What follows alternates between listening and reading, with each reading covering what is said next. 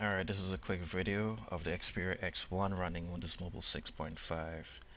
The 6.5 version that I have on this device is uh, uh, 21234. Try to focus a little bit. Yeah, 21234. Yeah, this is a pretty um, updated version of Windows Mobile 6.5. I got it uh, XDA developers. Um, so credit goes to those guys there was able to port it over. Has full scrolling functionality as you would get for Windows Mobile 6.5 device. Um, two ways to scroll. You can either swipe up, it's you know swipe down, or you can select whatever you know tab that you want. More specifically by highlighting this bar and going up and down. So, say for example here the weather uh, pane, you can swipe across or the same thing could go to email or text messages or calendars. Um, you know you see appointments here. Nothing really for the next couple of days. Or the same thing will go for here for the music. You can select whatever music that you want here. And I'll play it from here. Not sure if you can hear it. Um, it also has full hardware support for video playback using um, hardware acceleration. Let me show a quick video of uh, video playback. Uh, let's see. Let me play this.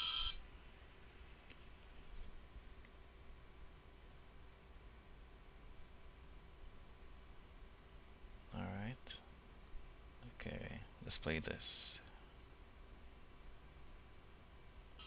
You may not be able to see the, the screen quality from this webcam recording that I'm doing but I guarantee you guys it's crystal clear the the crispness and the color is superb as well as you know the the frame rate it's awesome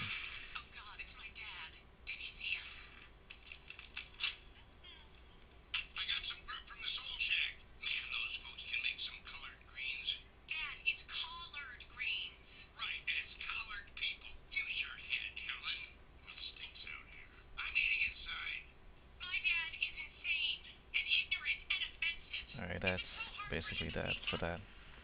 Or another reason why I wanted to show this video was um, to show you guys uh, the updated version of Kinoma Player. Um, this is the start menu. I have it back to the honeycomb version.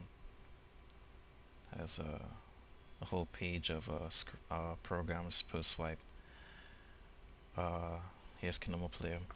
Alright, for Kinoma Player, um, I'll admit the version right before this one, to me, um, in my opinion, was a little bit faster than um, the version that was released like two, three days ago.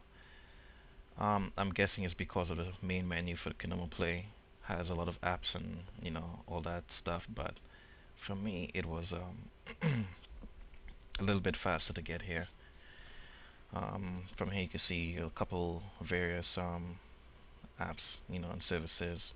I mainly use everything here except Box.net and um, iDisk.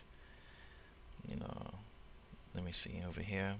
It's Flickr, Twitter, Facebook, YouTube. You can get more apps at the App Store, which is pretty good. Um, where to start? Okay. For music, it has um, you know, you can select by song, artist, album, genre for albums you can select um, and you can see by the album art and you can scroll using that. You can scroll either fast or slow up to you. It's pretty responsive. And if I want to play something okay let's see what I want to play. Alright put in a comedy. Uh, oh it plays back. Like for example you were listening to um whatever you listened to before, um, previously and you stop it, it'll resume from um, where you left off.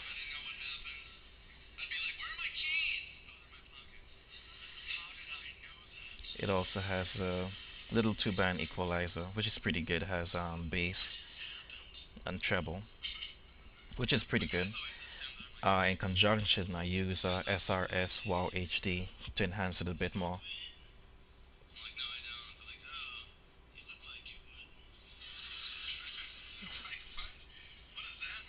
you can play it in the background also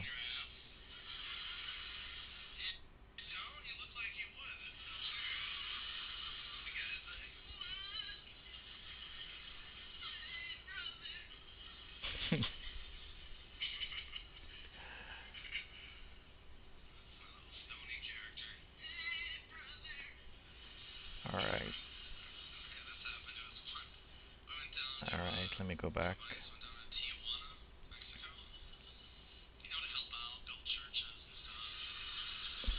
Yeah, it takes a second to get back to the main menu. I guess it's because of the, like I mentioned before, the updated apps and all that. Um, if you want to get back into whatever you're playing, you could just click bottom here and you get into it. That's pretty good.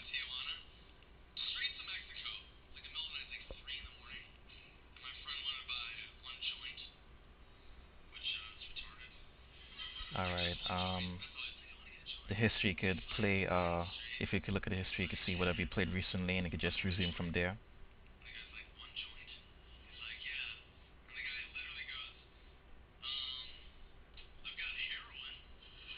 So say favorites, like whatever song you were playing or whatever radio station that you look for, you can um, play back whatever radio station that you favorited here. Like say for example, you know, these are the favorites that I have. So say for example, I like to listen to this radio station, I could just go back to here at any given moment and listen to the news or whatever I have favorited here, videos, podcast, um, whatever streams. Um, let's see. Well, that's basically all that I really wanted to show. How the hell is this? Oh crap. And we get out of here some stuff that naturally supposed to show and uh, let's see um, media you could also sync your playlist. Like say for example you have a playlist on your computer. You can sync it over to um, Kinoma Player which I think is awesome. Instead of having to do a manual add to playlist this is what I listen to at night sometimes when I'm going to bed.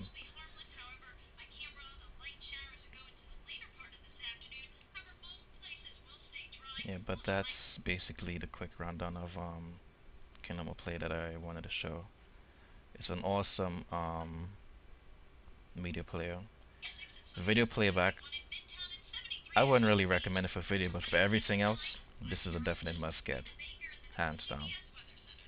Um, that's it.